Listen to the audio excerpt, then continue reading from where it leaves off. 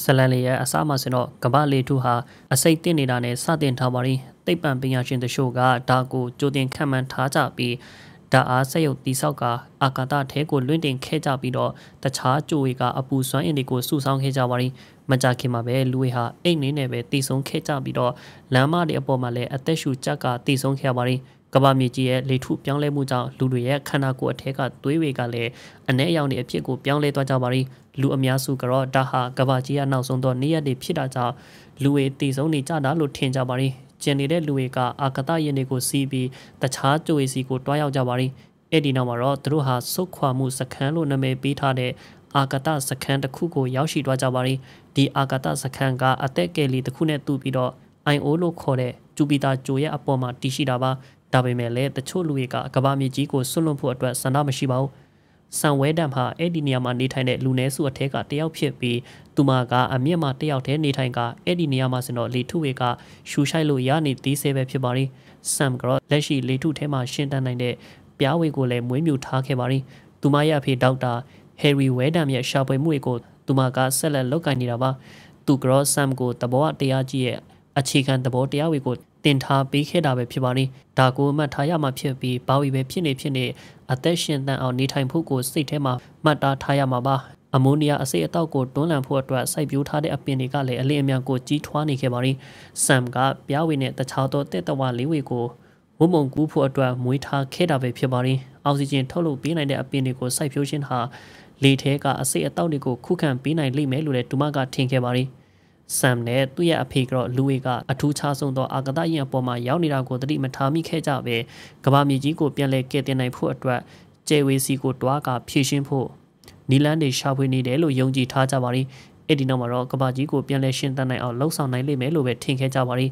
အီလွန်လို့ခေါ်တဲ့ဆမ်မြက်ကောင်လေးကတော့ IO စခန်းမှာရှိနေခဲ့တာပါသူတို့ကအဆက်အသွယ်မပြတ်စေဖို့တခါတလေကြရင်အီးမေးလ်တွေပို့ကြပါလိအီလွန်ကဆမ်ကိုအာကတရင်အပေါ်လာစေရှင်ပေမဲ့ဆမ်ကတော့ကပကြီးကပြက်စီးနေတာမဟုတ်ဘဲနဲ့အတစ်တဖန်ပြန်လဲမွေးဖွားနေတာပါလို့ပြောပါလိတနေ့မှာတော့အီလွန်ဟာဆမ်ကိုသူတို့ရဲ့အာကတစခန်းကကပအစ်စ်ကိုလေ့လာရေးခရီးထွက်နေပြီဖြစ်တဲ့အကြောင်းကြေညာခဲ့တဲ့အကြောင်းဒါကလူတောက်ဝေနေထိုင်ဖို့အတွက်နောက်ထပ်အိမ်အစ်စ်ရှာဖွေဖို့ဖြစ်တဲ့အကြောင်းတရားဝင်စာထုတ်ပြန်တာကိုပြောပြခဲ့ပါလိ သူတို့ကပရိုစီမှာစန်တော်နီဘီကိုရွေးချယ်ခဲ့ကြပြီးတော့အဲ့ဒီဂျိုဟာကဘာကြီးရဲ့အမွာဂျိုတစ်ခုဖြစ်ပြီးတက်တန်းကတော့10နှစ်ခန့်ရှိပြီဖြစ်တဲ့အကြောင်းပြောပြထားပါရင်းအီလွန်ရဲ့တငယ်ချင်းတွေအကုန်လုံးကတော့မစ်ရှင်မှာပါဝင်ဖို့ရှောက်ထားခဲ့ကြပါရင်းအဲ့ဒီနောက်မှာပဲသူဟာကဘာအစ်စ်ချဲထွေမဲ့အစီအစဉ်ကြောင့်ကြီးမားတဲ့ကြရဲရိုက်မှုတွေဖြစ်နေတဲ့အကြောင်းထပ်လောင်းပြောဆိုခဲ့ပါရင်းသူမရဲ့အီးမေးလ်ကိုဆုံးမဖတ်လိုက်ရပဲသူမရဲ့ကွန်ပျူတာက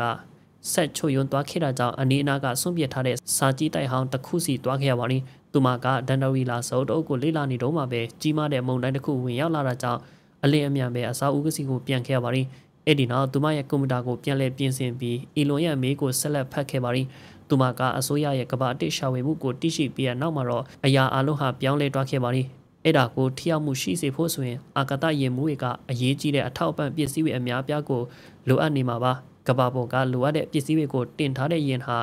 နောက်၄ရက်ဆိုရင်တော့လွင့်တင်တော့မှာပဲဖြစ်ပါရင်ဒါကသူမရဲ့နောက်ဆုံးတော့အခွင့်အရေးပဲဖြစ်ပါရင်အီလွန်ကဆမ်ကိုသူမအဖေနဲ့အတူကဘာမြေပေါ်ကနေထွက်လာဖို့ပြောခဲ့ပါရင်နောက်တနေ့မှာတော့ဆမ်ဟာသူမရဲ့ပြောင်းဝေကိုကြီးခဲ့ပြီးမြဲအကုန်လုံးကအစိတ်မုန်တိုင်းကြောင့်တည်ဆုံသွားတာကိုတွေ့ရပါရင်သူမရဲ့အပင်တွေကလည်းအလားတူပဲဖြက်စီးခံထားရပါရင်သူမဟာအိတ်ခမ်းစီကိုပြန်လာခဲ့ပြီးအဲလွန်စီမေးပို့ခဲ့ပါရင် ဆမ်ကမုန်တိုင်းကြောင့်သူမရဲ့ပြားဝင်နဲ့စိုက်ပျိုးထားတဲ့အရာတွေအကုန်လုံးပြက်စီးသွားပြီဖြစ်တဲ့အကြောင်းပြောပြပါရင်းအဲ့ဒီနောက်မှာတော့ဆမ်ဟာသူမရဲ့နောက်ဆုံးသောအခြေအနေကိုရောက်ရှိနေပြီလို့ပြောခဲ့ပါရင်းတကယ်လို့များသူမကတာကဘာမြေပေါ်ကနေထွက်ခွာရှင်ခဲ့နောက်မှာသူမကအာကတယင်စီကိုသူမစီမှာရှိနေခဲ့တဲ့အောက်ဆီဂျင်ပမာဏနဲ့အချိန်မီမရောက်နိုင်တော့တဲ့အကြောင်းပြောပြပါရင်း ခဏကြာမှာတော့မိုက်ကယ်လို့ခေါ်တဲ့လူတစ်ယောက်ကဟီလီယမ်ဘောလုံးကိုစီးပြီးဆမ်ရဲ့အဆောက်အနားကိုလာခဲ့ပါရင်းသူကဆမ်စီကိုတွားခဲ့ပြီးတော့သူဟာအာကတယင်စီကိုတွားပြီးဒီကဘာကနေထွက်တွားဖို့လုပ်နေတာလို့ပြောပြပါရင်းအစမှာတော့သူကဆမ်ရဲ့အဖေနဲ့စကားပြောရှင်လို့လာတာဖြစ်တဲ့အကြောင်းပြောခဲ့ပါရင်းဆမ်ဟာသူ့ကိုတဲနဲ့မိသွေးကိုအသုံးပြုပြီးစစ်ထုတ်ထားတဲ့ရေကိုတိုက်ခဲ့ပါရင်းမိုက်ကယ်ကတော့ဒီရေဝေကိုတောက်ရမှကြောက်လန့်နေခဲ့ပေမဲ့ဆမ်ကရေဟာအန်ဒီယမှာဖြစ်တဲ့အကြောင်းအာမခံပါရင်း အဲ့ဒီနောက်သူ့ကိုယ်သူဒေါက်တာဝဲနံရဲ့သမီးစွာကိုဖုံးကွယ်ပြီးတော့သူ့ရဲ့လက်ထောက်ဆိုပြီးမိတ်ဆက်ပေးခဲ့ပါရီအဲ့ဒီနောက်ဒီလူဟာဒေါက်တာဝဲနံရဲ့တီနီယာကိုမေးလိုက်ပေမဲ့ဆမ်ကတော့ဒေါက်တာဟာအပြင်ဖက်မှာရှာဖွေမှုလုပ်နေတဲ့အကြောင်းပြောပြခဲ့ပါရီမိုက်ကယ်ကသူမကိုလိုက်ပို့ပေးဖို့ပြောခဲ့ပေမဲ့သူမကတော့နေရာအတိအကျမတိတာကြောင့်လိုက်မပို့ပေးနိုင်တဲ့အကြောင်းပြန်ပြောပါရီနောက်ဆုံးမှာတော့မိုက်ကယ်ကဒီဒီနေရာမှာပဲဒေါက်တာပြန်အလာကိုစောင့်ဖို့တဘောတူပါရီ အဲ့ဒီနောက်မှာတော့ဆမ်ဟာသူစိုက်ဖြိုးထားတဲ့အသီးနှံတချို့ကိုချကျွေးခဲ့ပါရီနေ့လည်စာစားချိန်ရောက်တဲ့အခါမှာတော့ဆမ်ကပင်လယ်ပြင်မှာသရိစံနေကြမ်းနေသေးသလားလို့မေးခဲ့ပါရီသူမရဲ့အိမ်မက်ကတော့အဲ့ဒီနေရာကိုတွားပြီးလေပြေလေရင်တွေကိုရှူရှိုက်ရှင်တာပဲဖြစ်ပါရီမိုက်ကယ်ကကဘာပေါ်မှာဘာမှကိုမကြံတော့ဘူးလို့ပြောပါရီသရိစံနေအကုန်လုံးကမျိုးသုံးသွားကြပြီဖြစ်ပြီးစီဝတက်ရှိတွေကတော့မှအတိဆုံးသွားကြပြီလို့ပြောခဲ့ပါရီနောက်တစ်ခါမှဆိုတော့ဆမ်ဟာသူမသူ့တည်တနာလှုပ်တဲ့ဓာခွဲခန်းကိုပြတာပါရီ အဲ့ဒီနောက်သူမရဲ့တငယ်ချင်းအဖြစ်အီလွန်ကိုမိတ်ဆက်ပေးခဲ့ပြီးဆိုလာဆဲမစ်ရှင်မှာအလုပ်လုပ်ကိုင်နေတာဖြစ်တဲ့အကြောင်းပြောပြပါရီအဲ့ဒီနောက်မှာတော့ဒေါက်တာဝဲဒမ်ရဲ့ကဘာဘော်ကလူရဲ့အတွက်အရင်တုန်းကတွင်းထားတဲ့အတန်ဖိုင်တစ်ခုကိုဖွင့်ပြပါရီမိုက်ကယ်ကတော့သူဟာဒေါက်တာဝမ်နမ်ရဲ့ဓာတ်ရိုက်ပြောဆိုမှုကိုနားထောင်နေတယ်ဆိုပြီးအံ့ဩနေခဲ့ပါပြီဆမ်ကတော့ဒေါက်တာဝမ်နမ်ဟာဂွင်းပြင်ပေါ်ကနေထုတ်ပြန်ချက်ပေးပို့နေတာဖြစ်ပြီးတော့မနေ့ဖြန်ဆိုရင်ပြန်လာတော့မှာပါလို့ပြောပါရီ နောက်တစ်ခါမှဆိုရင်သူတို့ဟာစကားပြောခဲ့ကြပြီးဆမ်ကအီလွန်ဟာသူ့ရဲ့တငယ်ချင်းမဟုတ်ဘဲနဲ့အကောင်လေးဖြစ်တဲ့အကြောင်းဝန်ခံပါရီသူမကထူဆန်းနေသလားလို့မိုက်ကယ်ကိုမေးခဲ့ပေမဲ့မိုက်ကယ်ကတော့မိုင်တန်းပေါင်းများစွာဝေးကွာတဲ့နေရာကလူတယောက်ကိုချစ်တာဟာမထူးဆန်းပါဘူးလို့ပြောပါရီအဲ့ဒီနောက်မှာတော့မိုက်ကယ်ဟာအရင်တော့ကဆရာတယောက်ဖြစ်ရှင်ခဲ့တဲ့အကြောင်းဒါပေမဲ့အခုစတော့သူ့ရဲ့ဘဝကမူးပြန်ပူပေါင်းထဲမှာအဆုံးတက်ရတော့မှဖြစ်တဲ့အကြောင်းဝန်ခံပါရီဆမ်ဟာသူမဟာဒေါက်တာဝမ်နမ်ရဲ့သမီးဖြစ်တဲ့အကြောင်းဝန်ခံပါရီအဲ့ဒီနောက်မှာပဲသူမရဲ့စိုက်ခင်းကိုလိုက်လံပြသပေးပါရီ ဒါဝီကိုသူမကခဲခဲခဲစိုက်ခဲ့ပြီးမဲ့လေအခုခါမှဆိုတော့သူမရဲ့အပင်တွေကအခုအချိန်တွေကိုရောက်သွားခဲ့ပြီးပြားဝီအကုန်လုံးကလည်းတည်သွားပြီလို့ပြောပါရီ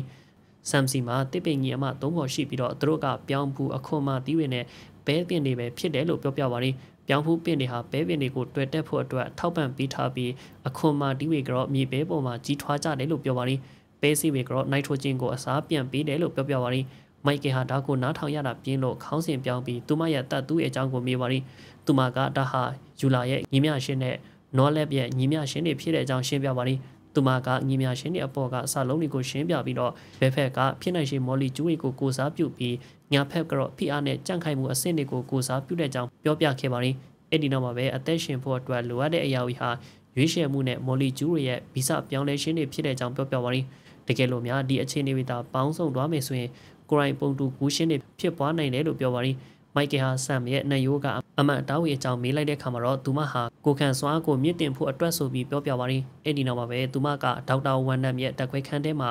မွေးမြူထားတဲ့ဝက်ကလေးကိုရိုက်ကူးထားတဲ့ဗီဒီယိုတစ်ပုဒ်ပြပါရီအကောင့်လေးကအစိမ့်ငွေ့ဝေအကြတည်ဆုံးခဲ့ပေမဲ့သူတို့ရဲ့အောင်မြင်မှုတစ်ခုလည်းဖြစ်တယ်လို့ပြောပြခဲ့ပါရီနောက်တနေ့မှာတော့မိုက်ကယ်ဟာဒေါက်တာနဲ့သူ့ရဲ့ဇနီးကျွန်းရဲ့အိတ်ခမ်းကိုတွေးခဲ့တာကြောင့်ဆမ်ကိုသူမအမေအကြောင်းမေးပါရီသူမကအမေဟာနေမကောင်းဖြစ်ပြီး တည်သွားခဲ့တယ်လို့ပြောပါရီဒါကိုကြားတဲ့အခါမှာတော့မိုက်ကယ်ဟာဒေါက်တာဝမ်နမ်ကိုစနီးတဲ့ကိုအစိတ်တန်းငွေရှိနေတဲ့ကပ္ပပေါ်မှာဘာကြောင့်ထားခဲ့တာလဲဆိုပြီးအပြစ်တင်ပါရီအဲ့ဒီနောက်မှာတော့သူဟာသူမရဲ့တန်းငွေခန်းတဲ့ကနေတစင်ဒေါက်တာဝမ်နမ်ရဲ့ဓာတ်ခွဲခန်းကိုတွားခဲ့ပါရီအခန်းအခြေအနေကတော့အတော့ကိုစိုးဝါနေခဲ့ပြီးကြည့်ရတာကအခန်းကိုအတုံးမပြုတ်ပဲပြစ်ထားတာကအချိန်တော်ကြာနေခဲ့ပါပြီဒါကိုကြည့်ရှင်အပြည့်တကယ်တမ်းမှာတော့ဒေါက်တာဝမ်နန်ဟာတည်ဆုံသွားခဲ့ပြီးဆိုတာကိုသိနေပါရီ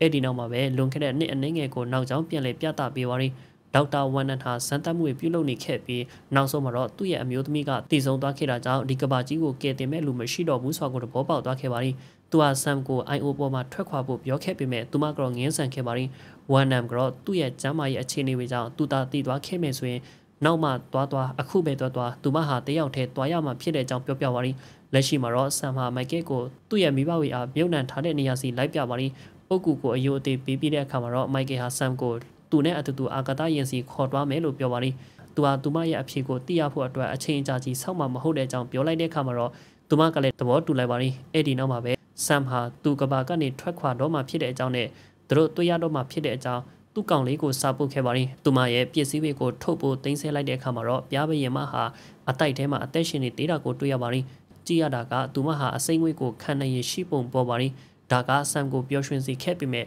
ဘာမှပြောင်းလဲသွားရှင်တော့မရှိပါဘူး သူမကကပပေါ်ကနေထွက်သွားဖို့ပြင်ဆင်ပြီးပြီပဲဖြစ်ပါရင်ပြဿနာကတော့သူတို့ဟာအခုမထွက်ခွာနိုင်သေးတာပါသူတို့နှစ်ယောက်ကအာဂတစခန်းစီကိုသူတို့ရဲ့မိုးပြန်ပူဖောင်ရောက်နိုင်ဖို့ဆိုရင်တော့လေတိုက်တာကိုစောင့်ရအောင်မှဖြစ်ပါရင်ခဏအကြာမှာပဲသူမဟာကဘာမြေကနေထွက်ခွာတော့မယ်ဆိုလို့ပျော်နေခဲ့တဲ့သူ့ရဲ့ကောင်လေးရဲ့စာကိုလက်ခံရရှိခဲ့ပါရင်ဒါပေမဲ့သူဟာကဘာအစ်စ်ကိုရှာဝေဖို့အတွက်အစီအစဉ်မှာပါဝင်ဖို့10နှစ်စာချုပ်ချုပ်ဆိုခဲ့တဲ့အကြောင်းပြောပြပါရင် ကြည့်ရတာကတော့သူတို့ဟာနှစ်ပေါင်းတော်တော်များများထပ်ပြီးဝေရအောင်မဲ့ပုံတွေပေါ်ပါရင်ဒီသတင်းကဆမ်ကိုတုံလုံးစေခဲ့ပြီးငိုကြွေးနေခဲ့ပါပြီအသေးကွဲနေခဲ့တဲ့ဆမ်ကိုမြင်တဲ့အခါမှာတော့မိုက်ကယ်ကသူမအတွက်ချက်ပြုတ်ပေးခဲ့ပြီးကဘာကြီးမပြတ်စည်းသွားခင်ကအအကြောင်းတွေကိုပြောပြပါရင်းသူကအစင်ချေပုံရက်ကွက်မှနေထိုင်တဲ့သူ့ရဲ့ဘဝကိုတတိယနေခဲ့ပြီးတော့တခါတလေဆိုရင်တငယ်ချင်းတွေနဲ့မြို့ထဲကိုတူတူတွားခဲ့တဲ့အကြောင်းပြောပြပါရင်းအချိန်နေကြာလာတာနဲ့အမျှမိုက်ကယ်ဟာ လီတိုက်မှာကိုစောင့်ရင်းနဲ့ပဲကနာမငင်ဖြစ်လာပါရီဆမ်ကတော့သူမရဲ့ကောင်လေးကသူမနဲ့အဝေးကိုထွက်ခွာသွားပြီဖြစ်လို့အထီးကျန်ဆန်မှုကိုခံစားနေရပြီးမိုက်ကယ်အနာကိုကတ်ကချစ်ချင်းမြတ်တာတွေမျှဝေခဲ့ကြပါရီနောက်တစ်နေ့မှာတော့မိုက်ကယ်ဟာသူတို့တွားရမယ့်အာကတယင်ကငကိုနေရာကထပ်ပို့ပြီးတော့ဝေးတဲ့နေရာကိုနေရာရွှေ့သွားတာသိလျက်ပါရီမိုက်ကယ်ကတော့သူ့ရဲ့ဟီလီယမ်ဓာတ်ငွေ့ကိုစစ်ဆေးနေခဲ့ပြီးအဲ့ဒီနေရာကိုတွားဖို့အတွက်ဓာတ်ငွေ့လုံလောက်မှုမရှိတာကိုသိရပါရီသူကဒရော့ဝေထွက်နေခဲ့ပြီးတော့ချိန်ဆဲပါရီ ဆမ်ကသူ့ကိုဘာဖြစ်နေတာလဲလို့မေးတဲ့အခါမှာမိုက်ကယ်ကဒီအစိတ်တန်းငွေတွေထဲမှာသူ့ရဲ့အမျိုးသမီးအပါအဝင်လူတွေအများကြီးတည်သွားတာကိုမြင်ဘူးခဲ့တဲ့အကြောင်းနဲ့သူတို့ရဲ့တည်ဆုံးရတဲ့အကြောင်းရင်းကသူ့ရဲ့တကူကောင်းဆမ်မှုကြောင့်ပဲလို့ပြောပြပါရင်းသူဟာအဲ့ဒီလူဝေစီကနေအစားအသောက်တွေကိုလူယူခဲ့တာကြောင့်လို့ပြောပြပါရင်းအဲ့ဒီနောက်မှာတော့မိုက်ကယ်ဟာဒါဝီကိုဆမ်စီရောက်မလာရစေဘူးလို့ပြောခဲ့ပါရင်းသူ့ရဲ့စကားကိုဆမ်ကစိတ်လှုပ်ရှားနေခဲ့ပေမဲ့သူတို့စီမှာပို့ပြီးတော့ကြီးမားတဲ့ပြဿနာတွေကိုဖြေရှင်းဖို့ရှိနေသေးပါရင်း ခဏကြာမှာတော့ဆမ်ဟာဟီလီယာနေဘယ်မှာရှိတယ်လဲဆိုတာကိုသိတယ်လို့ပြောပါရီဒါကမိုက်ကက်ကိုစိတ်လှုပ်ရှားစေခဲ့ပြီးတော့အစိတ်တွေဖုံးလွှမ်းနေခဲ့တဲ့မြို့ထဲကိုတွားကြပါရီကန်ကောင်းစွာနဲ့ပဲသူတို့ကအလောင်းဆောင်ဝေကိုတွေ့ခဲ့ပြီးသူတို့ရဲ့ဆက်ထဲကိုထဲပါရီနောက်တနေ့မှာတော့မိုက်ကယ်တို့ကမိုးပြန်မှုဖောင်းနဲ့ထွက်ခွာလာကြပါပြီဒါပေမဲ့ဆမ်ကအမှုပညာပြတိုက်ထဲကိုအရင်အဆုံးသွားဖို့ပြောပါရီသူကစိတ်ပူနေခဲ့ပေမဲ့သူမကိုနာရီပိုင်းအတွင်းပြန်လာဖို့ပြောခဲ့ပါရီ ခဏကြာမှာတော့အာယုံဦးကိုရောက်လာတာကြောင့်သူမကကဘာမြေပေါ်ကနေမထွက်ခွာရှင်ဘူးဆိုတာကိုမိုက်ကယ်ကသဘောပေါက်သွားပါရီဒါကမိုက်ကယ်ကိုတုံ့လောက်သွားစေခဲ့ပြီးအောက်ဆီဂျင်အပိုရီယူကသူမရဲ့အနောက်ကိုလိုက်ခဲ့ပါရီမိုက်ကယ်ကပြတိုက်ကိုရောက်တဲ့ခါမှာတော့ပကြီးကတခုအရှိမရက်နေခဲ့တဲ့သူ့ကိုတွေ့လျက်ပါရီသူမကတော့လုံနိုင်တဲ့လောက်လှုပ်ခဲ့တဲ့အကြောင်းသူမရဲ့အဖေဟာသူမလှုပ်ရက်တဲ့အတွက်ကိုယူနေမှာပါလို့ပြောခဲ့ပါရီမိုက်ကယ်ကသူမကိုအတူလိုက်ဖို့တောင်းဆိုပေမဲ့သူမကတော့မိုက်ကယ်ကိုတယောက်တည်းထွက်သွားဖို့ပြောပါရီ အဲ့ဒီအခါမှာပဲဆမ်မြတ်နိုးဆက်ကသူမရဲ့အိတ်ထဲကနေအောက်ဆီဂျင်ကုန်သွားပြီဖြစ်တဲ့အကြောင်းအသိပေးပါရီမိုက်ကယ်ဟာသူယူလာတဲ့အောက်ဆီဂျင်အပုတ်ကိုပြီးခဲ့ပေမဲ့သူမကတော့လဲဝဲရမယ့်အစားအောက်ဆီဂျင်မျက်နှာဖုံးကိုဖြုတ်ပြပါရီဆမ်ကအစိမ့်ငွေ့ကိုရှူရှိုက်ခဲ့ပြီးတခန်းရက်သွားခဲ့ပါရီနောက်တစ်ခါမှဆိုတော့မိုက်ကယ်ဟာအာကတရံပေါ်မှာတယောက်တည်းရှိနေခဲ့ပါပြီဆမ်ကတော့တယောက်တည်းနေဖို့ဆုံးဖြတ်ခဲ့ပါရီပြားပေမလို့ပဲသူမအတွက်အစိမ့်ငွေ့တွေဟာအန်ဒီရမရှိခဲ့ပါဘူးဆလန်ရဲ့အဆုံးမှာဆိုတော့သူမကကန်းချီရဲ့ဘေးမှာကလေးလေးတယောက်နဲ့ရက်နေခဲ့ပါရီ သူမရဲ့မိုက်ကယ်နဲ့အိတ်ခဲ့တဲ့အဓိကရည်ရွယ်ချက်ကတော့ကမ္ဘာမြေကြီးပေါ်မှာမျိုးပွားမှုတွေကိုပြန်လည်လှုပ်ဆောင်ဖို့ပဲဖြစ်ပါရီကြည့်ရှုကြပရိသတ်များအားလုံးယေရှုထူတင်ရှိပါခင်ဗျာ